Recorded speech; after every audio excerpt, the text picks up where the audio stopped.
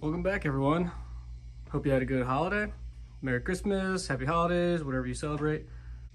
If you're new to the channel, please consider subscribing.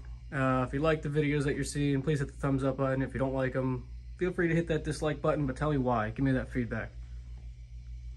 Uh, so to start this video off, as you see, I picked up a, a little, a little haul.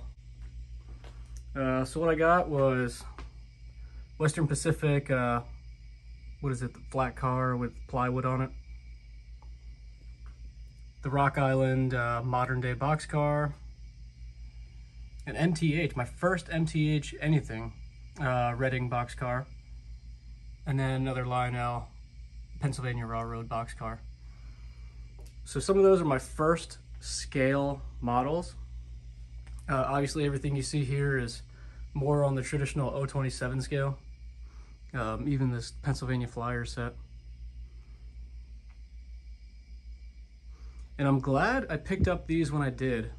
Um, because obviously they're a lot bigger than these O27 ones. And the other day, the other video I made, I was considering lowering this tunnel portal just because compared to the O27 models, it seemed really tall.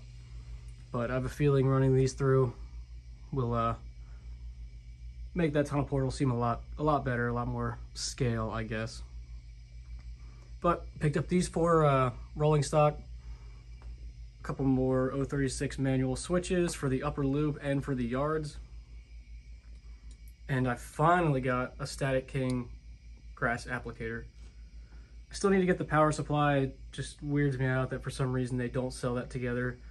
Uh, I might be able to use this with a battery. I can't remember, but we'll find out. We'll learn together. Next, I got to get some dirt, put it on the table, and then start using the, uh, the grass applicator.